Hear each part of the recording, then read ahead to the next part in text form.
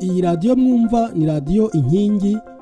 Inkingi y'amahoro ijwi riharanira ukwishyira ukizana kwa buri munyarwanda.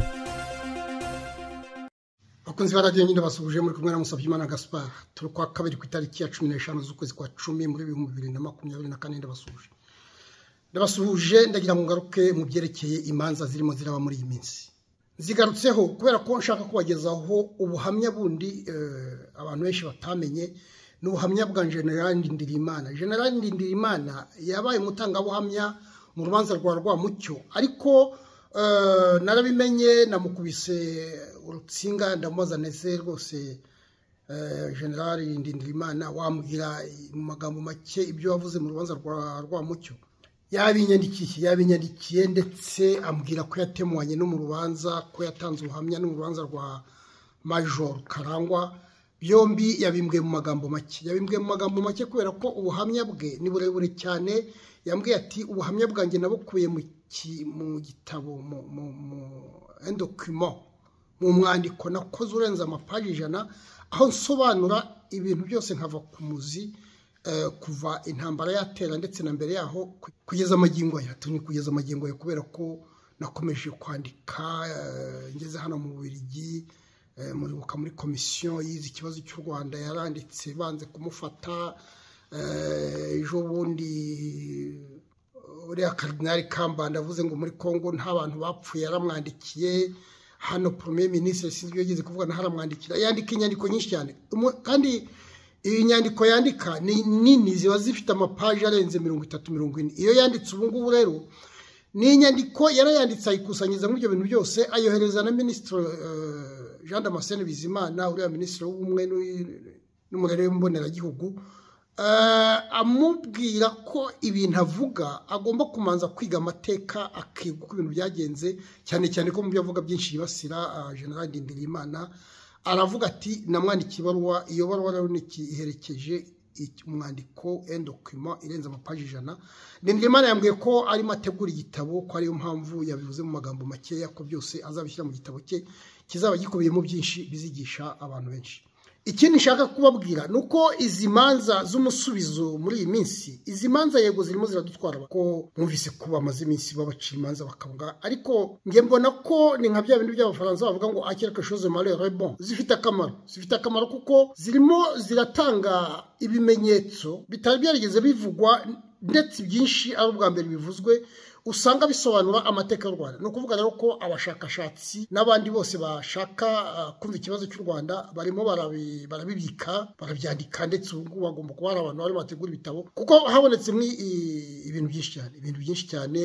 Mwumvise nka nkiko nsengimana nashimye akantu yavuze aho yavuze ati mujya mutekereza ko umuntu witwa kajuga robert nta muntu n'umwe wigeze ati urukiko rwa rushani rwamushakishije gacaca yo mu rwanda ntiyamushakishije izi manza z'umusubizo ntizigeze zibaza aho kajuga robert ari. Ati mubyibaze ibyo bintu. Noneho yavuze nk'ikintu kiriya cy'abajiyayizi b'abanyamerika bari hari bujumbura harimo ibintu byinshi muri muri ikibazo cy'u rwanda bitasobanuye. Iyo nyandiko ya ndindirimana ibyinshi ibigarukaho ni igitabo rero mbashishikariza kuzaba mubika amafaranga yo kukigura kuko kizaba giteye amake reka noneho mbabwire ibyo yanyandikiye jenali ndindirimana ndamushimiye. Kuba kuko amaze iminsi mu y'abagabo ntabwo byoroshye. Nongere mushyire imbere kamera ariko ibyo yanyandikiye birahagije kugira ngo mwumve mu magambo make ibyo bamubajije.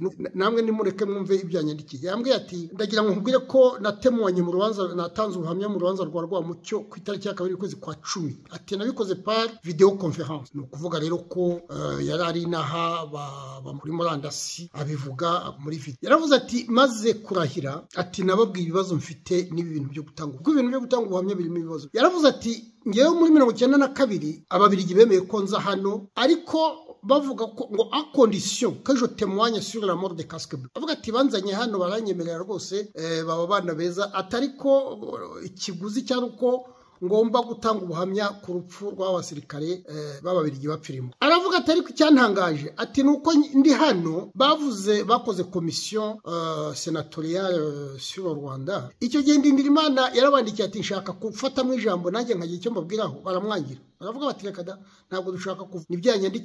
Au moment où la commission du Sénat belge étudiait le, dossier sur la tragédie rwandaise. On ne m'a pas permis de témoigner malgré mon insistance. Je fus plutôt accusé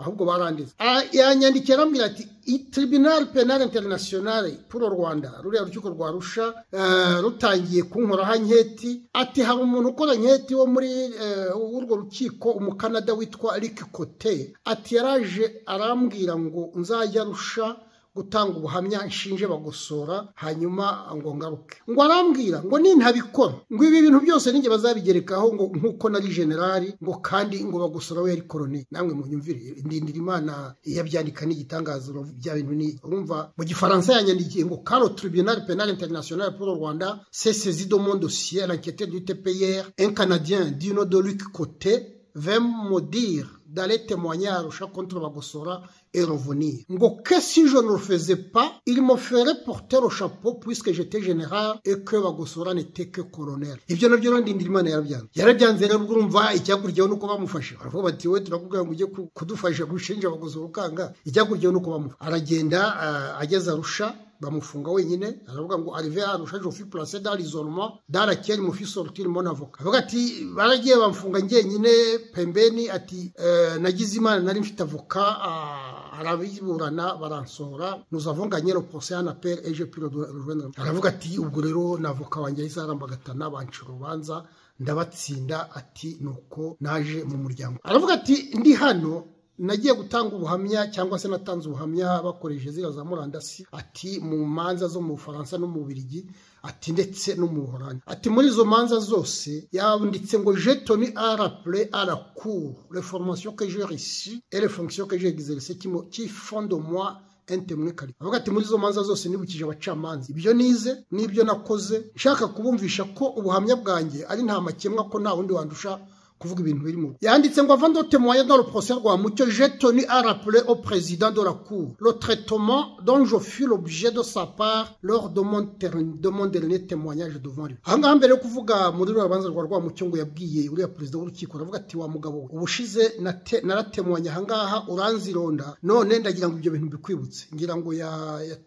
yatangaga ubuhamya muri dosiye y'umujandarume waherutse guca urubanza mu bufaransa. Aha rero ngo niho uwo mujije n'ubundi ngo n'ubu ngubu uri mu rubanza rwa rwamo aravuga ngo cette occasion ngo occasion il m'a fait de nouvelles fausses accusations. Il a exprimé son regret que je ne sois pas avec les autres acquittés et libérés qui se trouvent au Niger. Il m'a pris pour un incompétent incapable yaravuze ati wa mujuju. Igihe naje imbere yawe ubushize wavuze ko utumva ukuntu mbese ngo irimo afe de fose akizazo de fose nouvelles akizazo ati yarongera angerekaho ibyaha bishya. Ngo yaravuze ngo ngo ira exprime son regret. Ni nko kuvuga ati oh ndababaye. Kuba utari hamwe n'abariya bose bagiye muri nigeri bavuga ngo ni nko kuvuga ati baravuga ngo bararekuwe se. Ati ntabwo ari byo buriya bafite ikintu cy'ikibuye kibari hejuru murumva nyine nk'uyu mujije kumva abibwira ndindira imana nuko nyine ari ibintu by'akagambane biriho. Murumva rero ngo ko yamubwiye ngo ngo we tiweze ne kompetani nko kuvuga bati we ntacyo ushoboye uriye ne kapabure ni umuntu utagize icyo ushoboye. Murumva ko yaranamututse ahubwo. Avuga ati muri ziriya manza rero muri rubanza rwa rwamucyo navuze aravuga ngo je soulevé le problème de l'attentat commis euh, par le FPR assisté par des casques bleus. Avuga ati navuze ikibazo cy'uko fpr yarashe indege ifashijwe n'abari abasirikare ba loni hanyuma. Aravuga ati l'ancien ministre juvenal uwiringiyimana pour avoir contrôlé la version donnée sur cet événement fut menacé et tué. Aravuga ati biriya bintu byo kwica perezida habyarimana uriya juvenal uwiringiyimana yavuze ibidahuye n'ibyo bashakaga baramwica. Aravuga ngo le président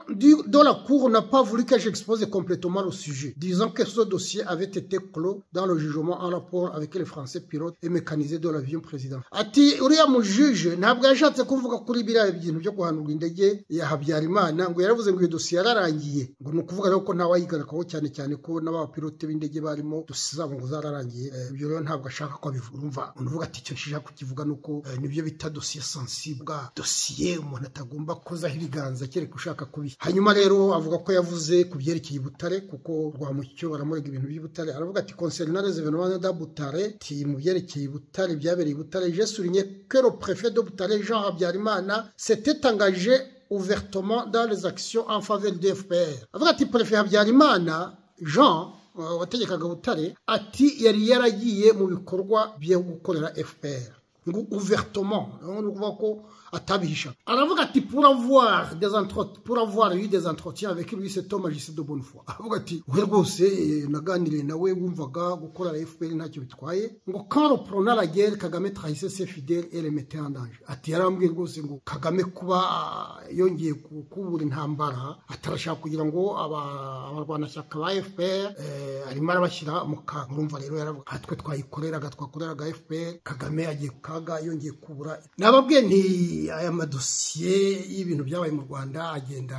azana udushya azana udushya. Nk'ibyo byose murumva ngira ngo nta bantu benshi babivuze. Hanyuma rero yarakomeje yakomeje aranyandikira arambwira ati butare les affrontements et les attaques dirigées contre les tutsi bien avant le discours de sindi ku bwabo aravuga ati i butare batangiye gutera abatsi babagabyeho ibitero mbere ya discours ya sindi ku bwabo muzi ko discours ya sindi ku bwabo yavugiye i butare bakomeje ko ariyo yarabaye. Hanyuma aravuga ati dit préfet ne pu maintenir l'ordre dans la commune d'Orunyinya où il s'est rendu le 16 avril 94 aravuga turiya mu préfet ntabwo yashoboye kugarura amahoro muri Runyinya muri commune Runyinya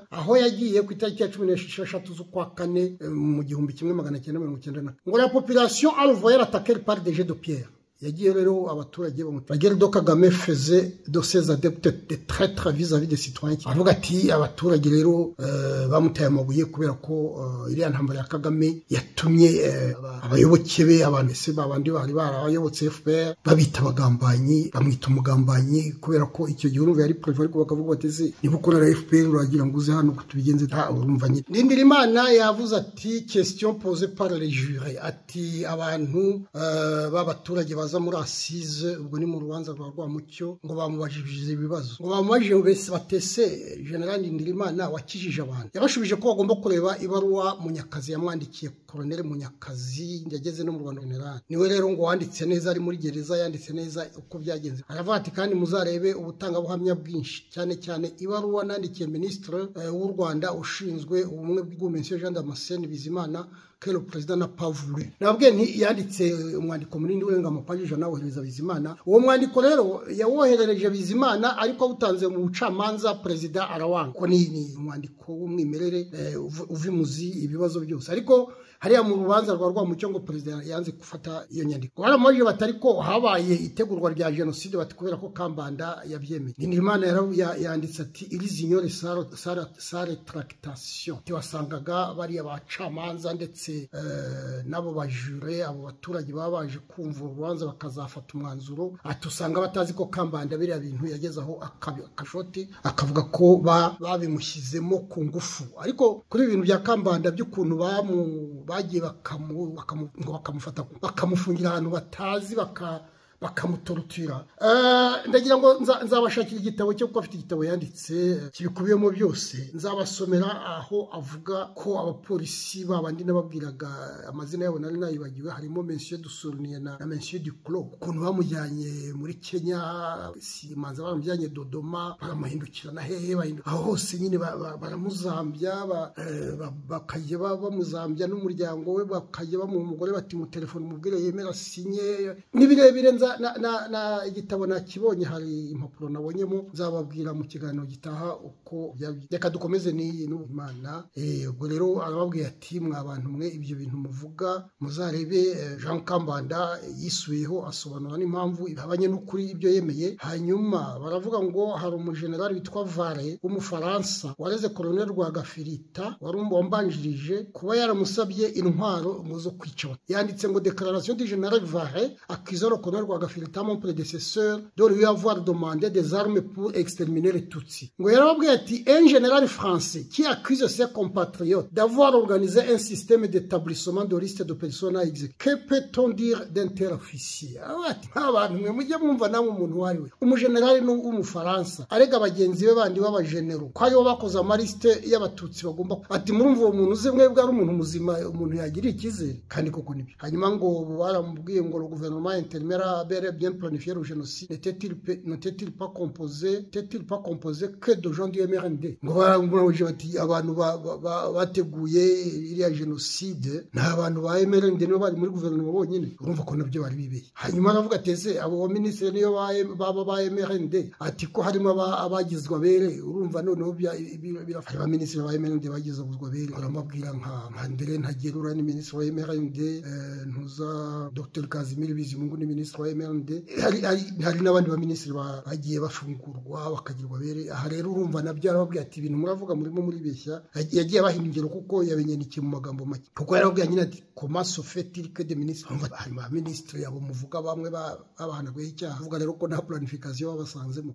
basanze nk'uko bashabye nk'uko mushaka kubyemera. Hanyuma aravuga ati baramubaza batesera prefe habyarimana yari encompatriote ni ukuvuga yari umunyarwanda. Undi ati wi yari encompatriote ni umunyarwanda w'umunyuma ngo bavuga ngo la destitution du prefe habyarimana a permis ahavuga baravuga bati ndi uriya prefe habyarimana nyamara bamukuyeho kugeza igihe bamwiciye ari uko yanze ko haba jenoside ngo yarababwiye ngo la destitution du prefe habyarimana avuga ati à gérer la situation il s'était lui-même mis à l'écart. Yavuze ati uretse ko atari anashoboye no gutegeka muri icyo gihe kugira ngo ahoshe amakimbirane. Ati ariko nawe yarishyize arekare ni ukuvuga yo kuvuga ngo ngewe ndi inkotanyi nkorera fpr baramubajije bati ese konese vurandura yari de masakre bati ese hari ahantu uzi hiciwe abantu? Undi ati kicukiro rero kuri konido ati kicukiro aho ngaho harazwi cyane kurusha ahandi. Ati pourtant c'est le fpr qui a massacré les gens se avuga ati nyamara ni fpr yishe abantu bari bahari. Kicukiro irazwi cyane mu hantu hiciwe abantu ariko ni fpr yishe abo. Hanyuma ngo yagarutse kuri disikuru ya sindi ku bwabo imwe y'ubutare bavuga ko ari yabaye tumye haba ubwicanyi iyi ngira ngo n'ejo nari nayivuzeho mu buhamya bwa Jean Kambanda aravuga je connais ce discours. Avuga ati yo discours le ministre présent à cette réunion de Butare ont plaidé cette affaire. Aravuga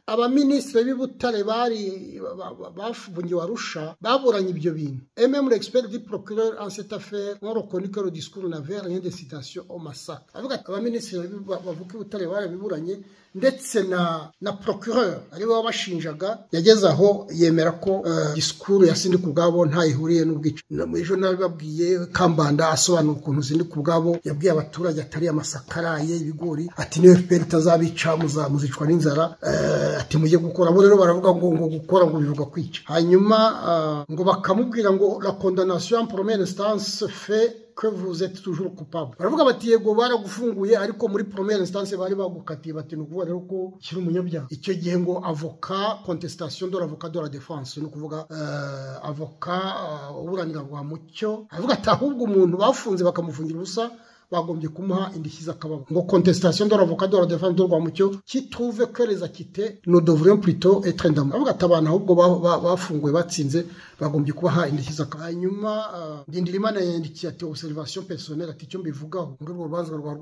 manifestement les jurés ne connaissent pas le dossier sur le génocide du Rwanda. Avuga ati abantu bazanye abaturage aho ngaho ntacyo bazi kuri dosiye y'u Rwanda kandi. Hanyuma ati vire question qu'il pose. Aravuga ati iyo wumvise ibibazo babaza usanga dosiye y'u Rwanda hanyuma akavuga ati la réaction du refus du président à mon offre d'un document n'est-elle pas la preuve qu'on veut maintenir les gens dans l'ignorance? Avuga ati none perezida kuba muha urwandiko nanditse rusobanura uko ibintu byagenze akarwanga aturumva atari ukugira ngo abantu batagira icyo bamenya badasobanukiwe ngibyo mu magambo make byanyandikiye hanyuma arambwira ati natemwanye no mu rubanza rwa major Pierre Claver Karangwa ku itariki ya munani ya cyenda z'ukwezi kwa cumi.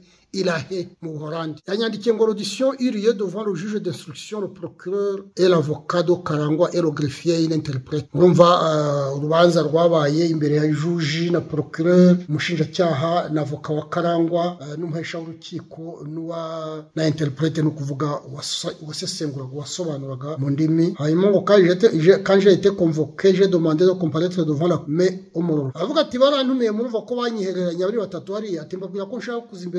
baranga. Avuga ati ni byo bambajije banyimye compte rendu je ne pouvais même pas avana n'ikopi di konti randi dore ni ukuvuga rero ko bamubajije ntibamuha na kuyaba. Aravuga ati ngo baramubwira ngo bumvise ko yatemwanye mu rubanza rwa karangwa. Aravuga ati ni byo ati ndetse naboherereje endokima noherereje minisitiri rwanda de l'unité nationale de l'élection ya nyandiko nababwiye y'amapaji ijana. Ati ariko ni nko kuvuga ati biraje nyanza ati bambwiye ko ntayo babonye. Yanyandikiye arambwira ngo l'accusation tourne autour de la participation du major karangwa au crime qui ont eu lieu dans sa commune commune ya mugina et plus particulièrement d'avoir organisé et participé à la mort du bourgmestre de Mugina. Baramurega rero karangwa ko ari we watumye haba ubwicanyi muri komine Mugina cyane cyane ngo isha bourgmestre wa Mugina. Yashyizeho akantu kitwa ngo ngo point frappant dans l'interrogatoire. Avuga ati tuntu twa nagiye ndeba tudasanzwe. Iya mbere ngo la procureur yari umugore cyaha la procureur fait entendre que la gendarmerie d'après plusieurs rapports des organisations défendant les droits de l'homme a commis beaucoup de crimes puis non muri mirongo icyenda na gatatu aramubwira ati nyamara igisubizo cyanjye kiri muri iyo baruwa mwanze iyo dokima muravuga ngo ntimwayi buriya niba ngombwa azayibohereza hanyuma cya kabiri ngo concernant le déroulement de la tragédie l'absence de planification ils n'ont pas réagi à ma position sur la conférence de Genève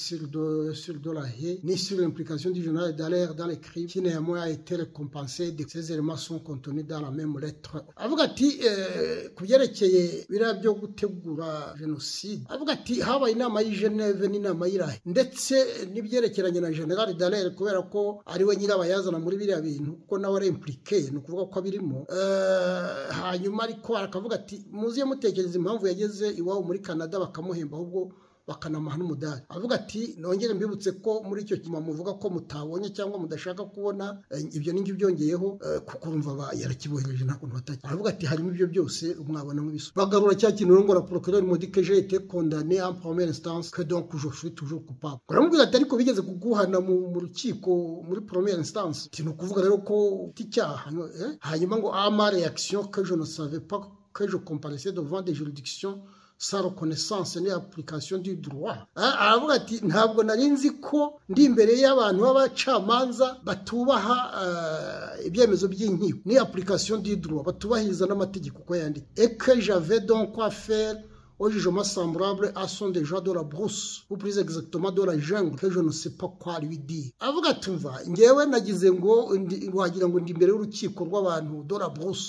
Abantu abantu bari mu gihuru batajya batazi ko haba amategeko. Exactement de la jungle rwose bari mu icuraburindi ati rero ubwo urumva ko ntacyo nako era alors changé et a présenté ses excuses disant qu'elle ne savait pas que j'avais acquitté en appel. Ariko murumva ni byo binavuze ntibiraza nyanza. Ngo yageze arahindura ngo asaba imbabazi kubera ngo ko ngo atarazi ko yagiye mu bujurire agatsinda ariko urumva nyine ni bya bindi yari akanazemo nuko yasanze undi nawe azi uko bigenda akavuga ati inkiko mpuzamahanga ubundi niyo zifashe icyemezo kiba gisumba icy'inzego z'ibihugu icyo inkiko z'ibihugu zishobora gufata. Ni ukuvuga rero ko ndindira imana kuba yaratsindiye arusha nta rundi rukiko rushobora kongera kumukoraho ngo ruvuge ngo reka wenda dusubire mu rubanza kubera ko ziriya nkiko zo hejuru za inkiko mpuzamahanga ziba zifite icyo bita la primote sur la juridiction nationale. Kuvuga ko ziba